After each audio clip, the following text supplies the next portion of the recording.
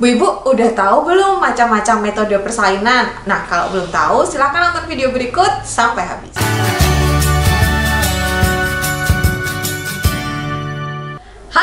Selamat datang di Kriwil Life Ngobrolin kesehatan bareng aku Bidan Kriwil Hari ini kita akan ngobrolin soal berbagai macam metode persalinan Aku akan bahas secara singkat aja, secara detailnya nanti ibu-ibu bisa tonton di playlist persalinan yang ada di YouTube-nya Kriwi Life ya. Nah, secara garis besar persalinan itu dibagi menjadi dua, yaitu persalinan pervaginam dan persalinan operatif atau seksio cesaria.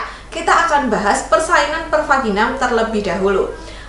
Pervaginam ini adalah persalinan di mana janinnya itu lahir lewat vagina atau lewat jalan lahir. Persalinan pervaginam itu dibagi menjadi dua, yaitu persalinan spontan dan persalinan dengan intervensi medis. Persalinan spontan ini tentu saja bukan spontan, uhui, tapi persalinan di mana sama sekali tidak ada intervensi medis. Jadi dari awal sampai akhir persalinan itu semuanya berjalan secara alami. Kalau ibu-ibu pengen mencapai persalinan yang spontan ini, tentu saja ibu harus memenuhi faktor 5P penentu persalinan yaitu power, PZ, passenger, psikologi, dan penolong persalinan. Yang kedua adalah persalinan dengan intervensi medis. Persalinan ini adalah persalinan pervaginam tetapi dibantu dengan tindakan medis. Seperti apa tindakan medisnya? Yang pertama ada persalinan dengan induksi.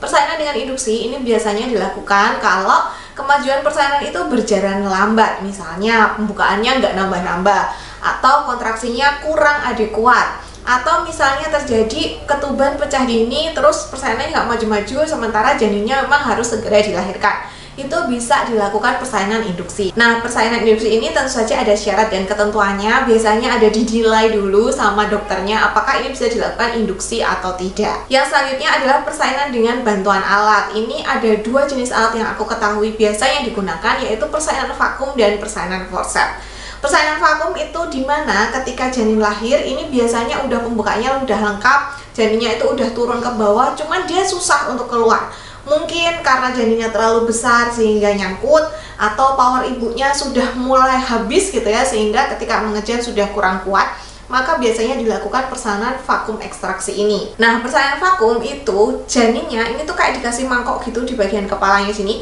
terus disedot gitu. Jadi sebenarnya secara simple ini tuh kayak janinnya dibantu keluar dengan cara disedot dari luar gitu. Jadi memang ada tekanannya dan itu bisa diatur. Makanya kenapa persalinan yang dengan mendorong gitu ya, aku pernah bahas juga itu tidak disarankan karena kalau didorong dari atas itu kan kita nggak bisa ngukur kekuatannya tapi kalau ditarik pakai vakum itu kita bisa ukur tekanannya seperti itu. Nah, yang kedua adalah persalinan dengan forceps. Sebenarnya prinsipnya sama dengan vakum, yaitu janinnya ini dibantu ditarik dari luar. Cuman kalau vakum itu disedot gitu ya, jadi di sini dikasih mangkok. Kalau forceps itu ada alat yang nanti dimasukin, dia tuh ada di kanan kiri kepala bayi gitu, terus kayak ditarik gitu dari luar. To be honest, aku sendiri udah jarang banget nemu persalinan forceps. Jadi biasanya itu yang sering aku lihat sekarang itu adalah persalinan vakum. Persalinan forceps itu terakhir aku melihat persalinan forceps itu pas zaman zaman aku kuliah. Berarti itu tuh udah sekitar tahun 2011-2012 gitu. Jadi udah cukup lama gitu ya. Tapi mungkin ada ibu-ibu yang persainannya forceps boleh cerita di kolom komentar ya. Aku penasaran banget apakah sekarang masih banyak yang melakukan persalinan forceps ini? Nah yang selanjutnya ada persalinan seksio cesarea tentu saja ini ibu-ibu udah tahu ya ini tuh metode persalinan operatif. Jadi kadang-kadang bilang lahirnya lewat jendela gitu. Karena memang perut kita yang dibuka. Dan karena otot perut itu merupakan otot yang cukup besar memang kadang-kadang butuh waktu untuk pulih kembali sempurna makanya kalau ibu-ibu melahirkan SC itu disarankan punya anaknya lagi itu dijarain 2 sampai 4 tahun. Dan tentu saja butuh waktu juga gitu ya untuk kembali bisa bermobilitas. Beda dengan persalinan vaginam yang biasanya mobilisasinya atau kembali geraknya itu lebih cepat.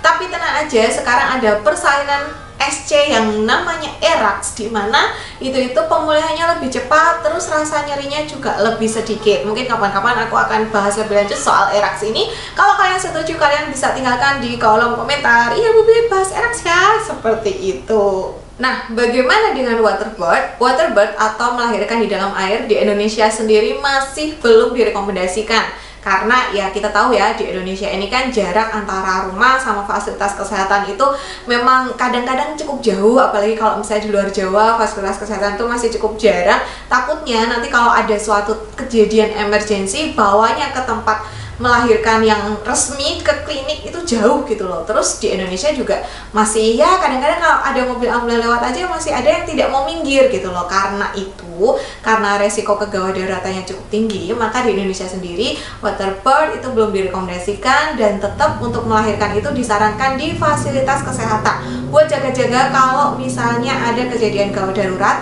penanganannya itu bisa cepat gitu. Kalau misalnya di rumah memang tidak semua orang kan bisa ya melakukan pertolongan saat ada kegawat daruratan Nah ibu-ibu itu tadi berbagai macam metode persalinan Buat ibu-ibu yang sudah pernah melahirkan metode persalinan apa yang ibu-ibu alami Silahkan cerita di kolom komentar dan ingat ya, apa pun metode persalinannya itu kita tetap jadi ibu. Yang paling terpenting adalah persalinan kita itu lancar, sehat ibu dan bayinya. Mau apa pun metodenya, kita tetap jadi ibu. Nggak usah dengerin omongan orang lain.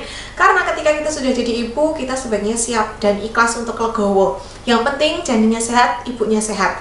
Metode persalinan tidak harus ini, tidak harus itu, tidak harus ini. Kalau bisa persalinan spontan ya bersyukur banget. Tapi kalau misalnya kok ada indikasi tertentu dan tidak bisa melahirkan secara spontan, ya diterima dengan legowo. Terima kasih sudah menonton, sampai jumpa di video selanjutnya. Bye bye.